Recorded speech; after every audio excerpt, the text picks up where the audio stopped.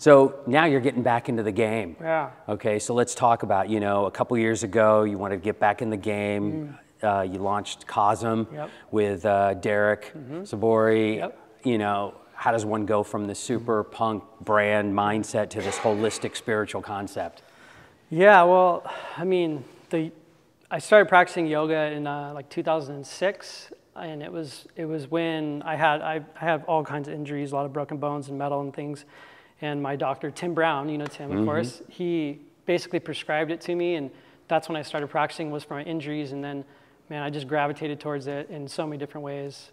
I came for the physical, I left with the mental. And um, so that was really the beginning of my journey there. And then when I went to Kauai, I got introduced to Ashtanga, which is another uh, type of yoga, and really just got into it. And um, Terry's a, a Ashtanga pra- practitioner as well. He, was, he would go there a lot too.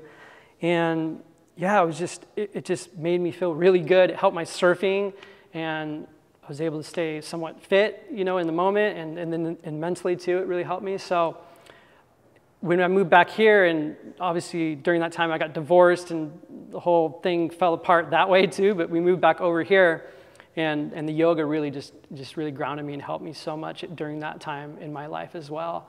Um, so then I had the bright idea to start a men's yoga clothing line and, and hit up Derek, and he was working at Volcom at the time, and basically pulled him out of there and said, let's go do this. And we started it, and it was all great, and, and just uh, I'm super proud of what we built.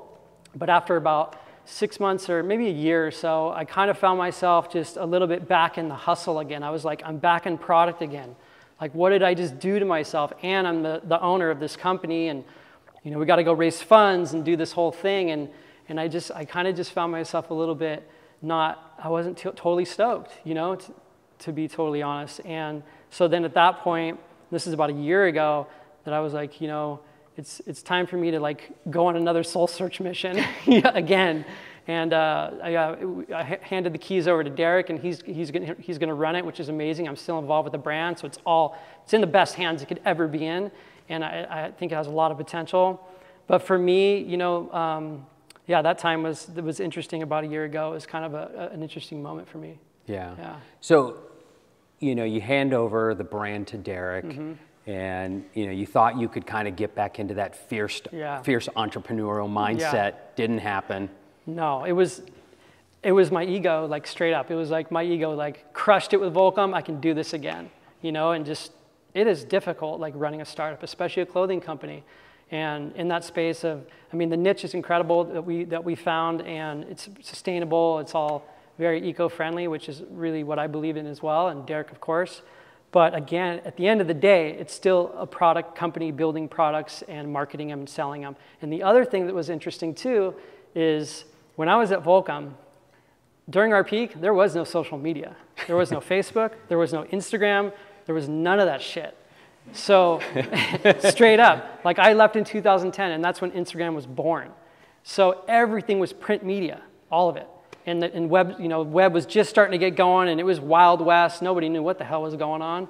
People were charging a bunch of money. It was just, I mean, you know, the whole dot com Yeah. burst bubble. And um, so with this new endeavor, and our, our idea was to be direct to consumer only to keep, to keep the prices low, premium products, sustainable products for a lower price. Um, so with that, you got to have a digital marketing strategy. And I found myself like dealing with all that stuff, and I was totally green. I didn't know how to do any of that stuff. You know, I know how to I know how to build a vibe and, and have a vision, but when it comes down to pulling the levers and doing all the, sh- I mean, it's technical stuff. Yeah. You know, so I found myself there in the back end of the website and stuff. I'm like, I'm not having fun right now. Like this is this isn't my calling right now. Yeah.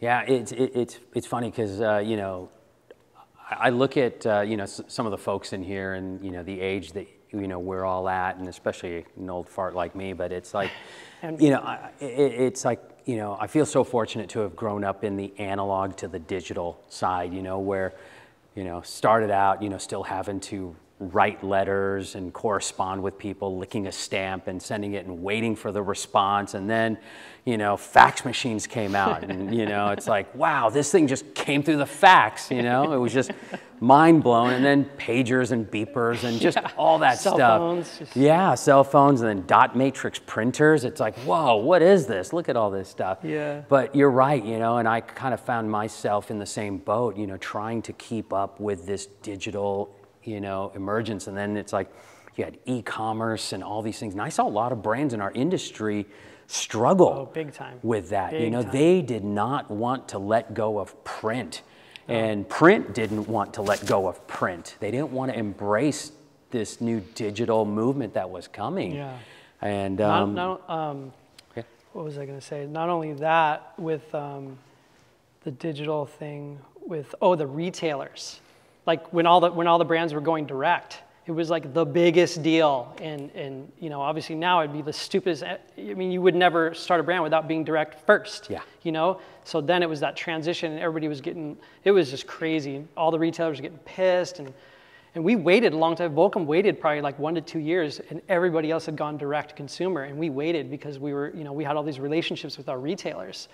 So it was interesting. Yeah, was that was that, that was definitely the Wild West. I remember uh, retailers wanting uh, exclusivity. They wanted to be the online exclusive retailer, Mm-hmm. Yeah. and that didn't work. And I think the brands were just chomping at the bits to go direct to consumer. Yeah, oh, yeah. Um, and then it finally happened, and I think that was a bitter pill for some in the industry to swallow. yeah, for sure. But um, so where's the brand stand now? So what's up with Cosm? Yeah, it's all it's all it's going. It's good. It's um it's in Derek's hands, and we're just you know he's running with it, and I'm just sort of advising and still part of the brand. So I just kind of fifty thousand foot, you know, tell him what I think and help out, and yeah, it's it's good. I'm I'm I'm stoked. I think it has a really it's an incredible niche, like I mentioned before, and like Nike just came out with this whole like men's yoga thing going on. It's like I mean the thing has amazing potential. So hopefully he.